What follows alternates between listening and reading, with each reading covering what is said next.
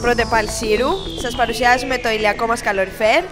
Το έχουμε φτιάξει οι μαθητές του Λυκείου μαζί με τη βοήθεια των καθηγητών. Ε, είναι μια οικονομική λύση για τις μέρες που ζούμε. Είναι ε, μια ακόμα ανανεώσιμη πηγή ενέργειας. Και τώρα θα σας αναφέρουμε το πώς χρησιμοποιείται και τον τρόπο παραγωγής ενέργειας. Κόψαμε τα εξής τα κουτάκια, τα ενώσαμε έτσι ακριβώς, φτιάξαμε την εξή σωλήνα με τα κουτάκια εφόσον τα έχουμε στεναροποιήσει πάρα πολύ καλά με την ταινία.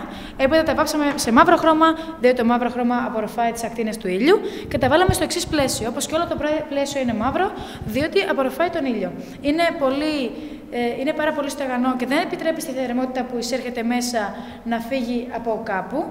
Ε, και οι τρόποι λειτουργίας τους είναι εξής. Όπως βλέπουμε στην εικόνα, ε, το, ε, το καλοριφέρ μαζεύει τις ακτίνες του ήλιου και, και φτιάχνει θερμό αέρα. Ο θερμός αέρας, επειδή είναι πιο πυκνός, ε, πηγαίνει στο πάνω μέρος του κτηρίου και έτσι προτρέπει τον ε, κρύο αέρα να πάει στο κάτω μέρος και να φύγει από το δωμάτιο. Επίσης βλέπουμε τις εξής πληροφορίες, οι οποίες είναι πάρα πολύ απλές συμβουλές ε, για, την, για την εξοικονόμηση ενέργεια αλλά και χρημάτων. Όπως έχουμε η θερμομόνωση, ο θερμοσύφωνα ζεστό νερό, πώς μπορούμε να το ξεκονομήσουμε, πλυντήριο πιάτων, μικροσυσκευές, θέρμαση χώρων, φωτισμός, ψήξη, κλιματισμός, ηλεκτρική κουζίνα, ψυγεία, ε, καταψύχτες και επίση πλυντήριο ρούχων. Τα οποία τα χρησιμοποιούμε στην καθημερινότητά μας πάρα πολλές ώρες και οι συμβουλές αυτές είναι πάρα πολύ χρήσιμες για την εξοικονόμηση ενέργειας.